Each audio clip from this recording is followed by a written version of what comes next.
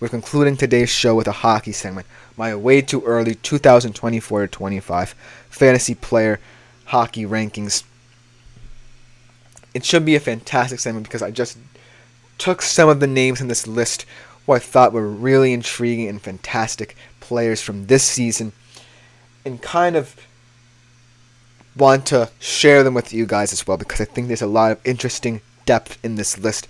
This is the top 300 players as set out by ESPN for next season. So without further ado, let's get right into it. The number one overall player may shock a little bit of people, but he's no shock to me.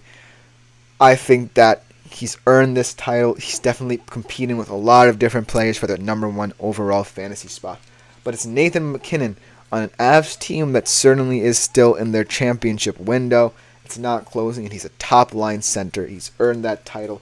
He had 626.5 fantasy points this season, second in points, third in assists, fourth in goals. That's a well rounded player who I believe deserves to be the top spot. Obviously, you can argue about so many different players getting the top spot, including the guy I'm about to mention right now, also a Stanley Cup finalist at the moment.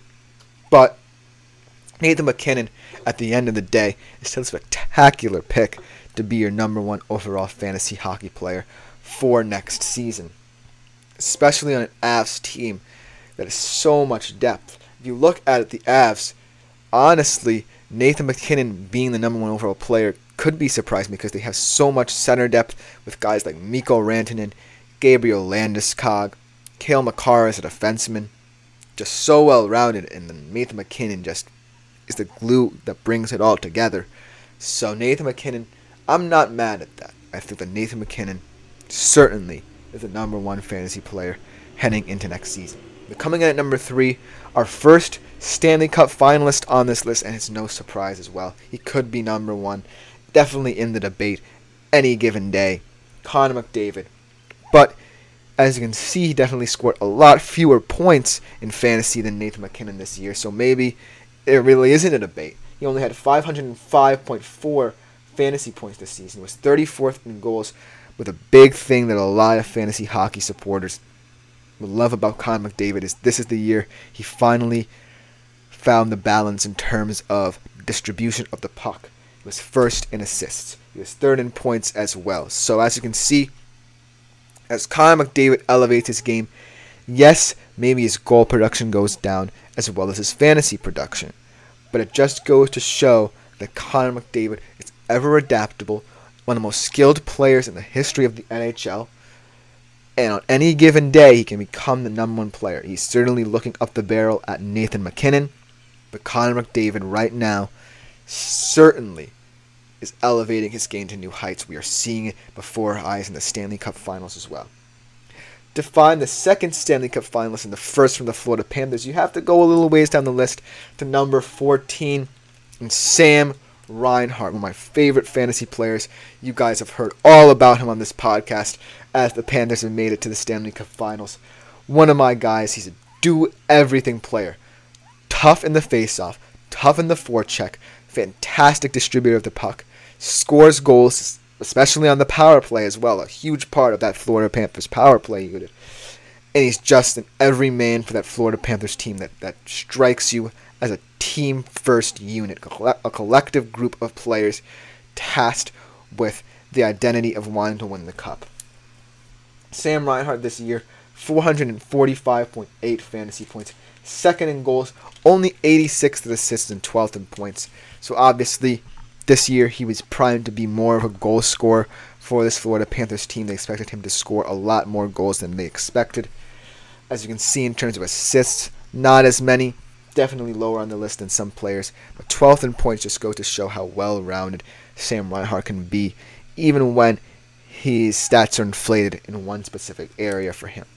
Overall, I think that it's kind of surprising that he's the top Florida Panther because they have a lot of excellent players that you might be wondering about, like Alexander Barkov. Where's Matthew Tkachuk? You can ask those questions, but Sam Reinhart, I think, in terms of fantasy, if you look up Florida Panthers fantasy player in the dictionary, a picture of Sam Reinhart should appear. So, I'm glad to see him this high on that list. The first goalie on this list is a guy who is getting a lot of respect, has won a lot of Vezina trophies, mainly on a team that hasn't really been as competitive in the Western Conference as people would want. In Connor Hellebuyck. Connor Hellebuyck is fantastic fantasy hockey goalie. For the Winnipeg Jets, a team who has failed to kind of compete in this crowded Western Conference. He has 310.2 fantasy points, fourth in save percentage, 59th only in goals against average, but second in wins. Connor Hellebuyck is such a steady presence in between the creases for the Winnipeg Jets. They're a team that I think is rapidly in decline. They had their heyday a couple of years ago. They haven't really broken out in the slightest. But Connor Hellebuyck has always been a constant in net for them. And it's no surprise that he's a number one net minder in ESPN's way too early rankings. In terms of defensemen, you have two guys on separate ends of the spectrum here in terms of a young defenseman who has been a breakout fantasy star over the past couple of years, and a defenseman who's been doing it for many years and is still doing it at a very high level, both in real life and in terms of fantasy. At the number 18 position is Rasmus Dahlin. At the number 10 position is Roman Josi, a man who has done it for many years, like I said. 431 fantasy points. Obviously, not a high goal scorer, only 98th in goals, 12th in assists, but 22nd overall in points. Not too shabby for a defenseman, especially an aging one. And Rasmus Dahlin, one of my favorite fantasy defensemen over the recent couple of years, 339.5 fantasy points overall, also very low in goals. But also very low in assists this season.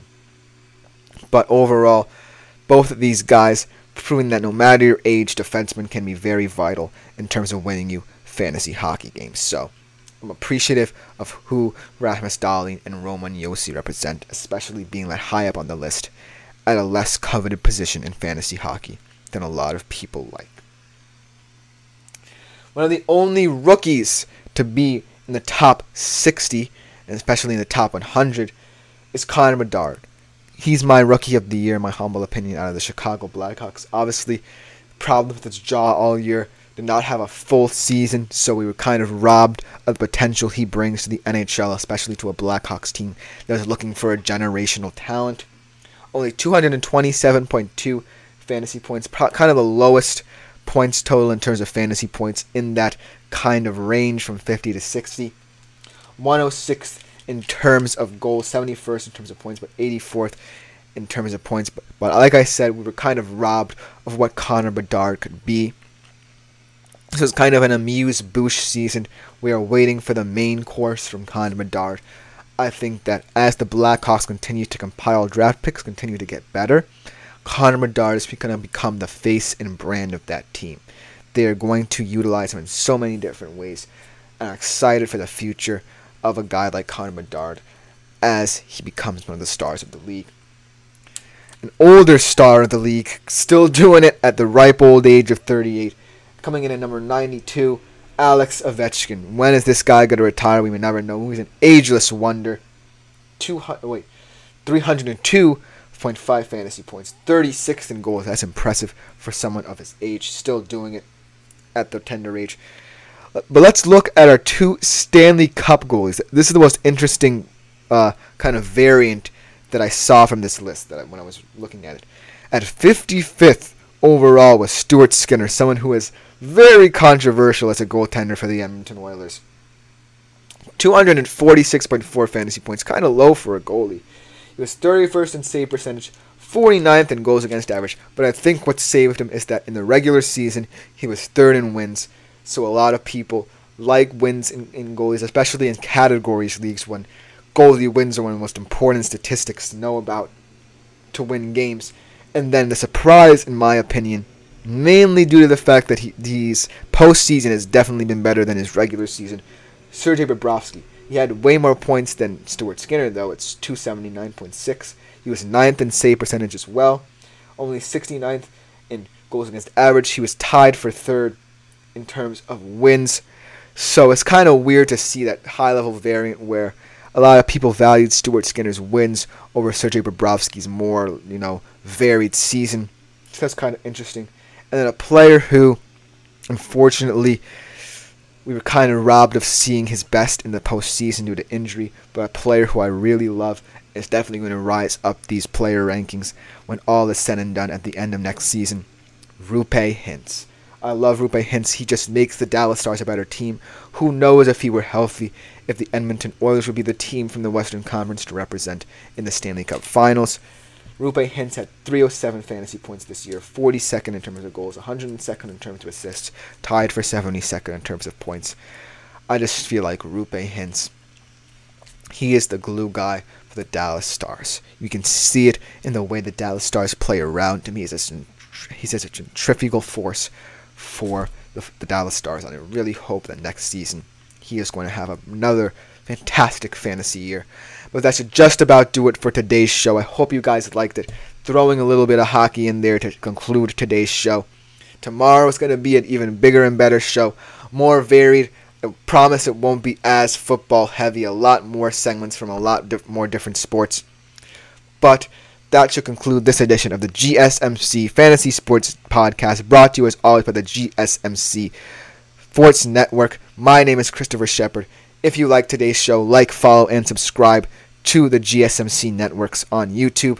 Leave a tip or donation at the link gsmc.cloud if you do feel so inclined. Any questions, comments, or concerns can be placed there as well. Thank you guys so much for tuning in. We will be back tomorrow with an even better show.